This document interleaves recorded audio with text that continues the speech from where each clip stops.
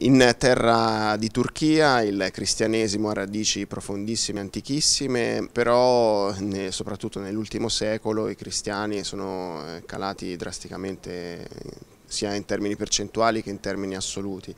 E le chiese cristiane vivono eh, momenti di difficoltà, eh, quali sono queste difficoltà, quali sono le cause cosa è possibile anche fare in prospettiva futura per incentivare il dialogo ecumenico e poi anche interreligioso. Sì, effettivamente è vero, eh, la Turchia è una terra santa del cristianesimo, però credo che anche oggi, a distanza di,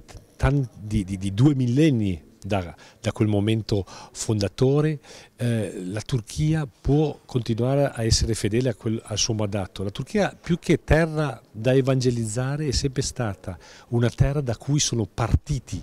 gli annunciatori del Vangelo quasi una, una sorta di, di, piattaforma essenziale di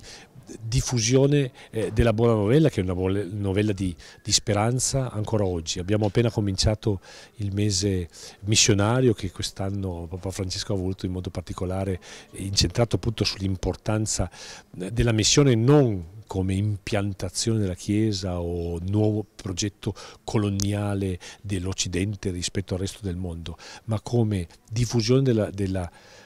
di una parola di, di speranza in in un mondo che ne ha bisogno in modo, in modo, particolare. Io credo che, malgrado tutto, sì è vero, c'è una storia antica della Turchia che parlava di più diversità, di presenza anche numerica più importante di cristiani, ma oggi quello che è più urgente eh, da fare in Turchia, e abbiamo cercato anche di capirlo insieme non è tanto piangerci addosso pensando e mitizzando un po' questa storia antica, ma chiederci come il Vangelo, che continua a essere parola viva, può essere declinato eh, sia in questo posto che continua a essere un luogo di passaggio impressionante se pensiamo solo ai, ai flussi migratori, alle migrazioni,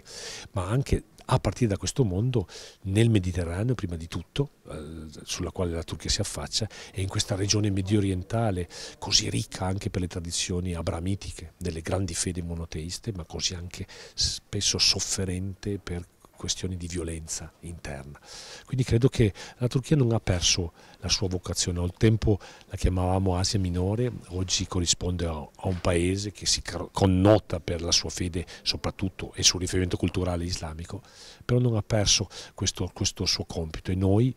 piccola presenza cristiana, molto diversificata, siamo chiamati a riscoprire la ricchezza della diversità e non farne un impedimento all'incontro per testimoniare di un unico Cristo morto e risorto. Dall'Italia cosa è possibile fare per sostenere le comunità cristiane in terra turca?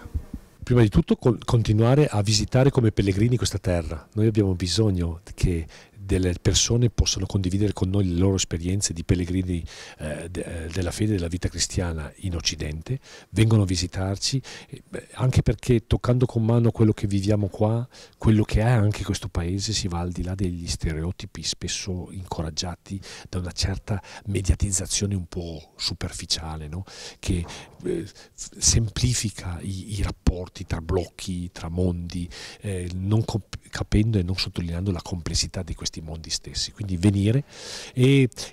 magari stimolare, incontrare un paese che è molto giovane eh, e che, dove le persone sono assetate anche di conoscere nuovi modi di, di servire la società, di costruire una società che sia, che sia più inclusiva e non esclusiva. Quindi prima di tutto ecco, incontrarci, portare le vostre esperienze e essere pronti a farsi sorprendere dalle esperienze che si possono conoscere qua.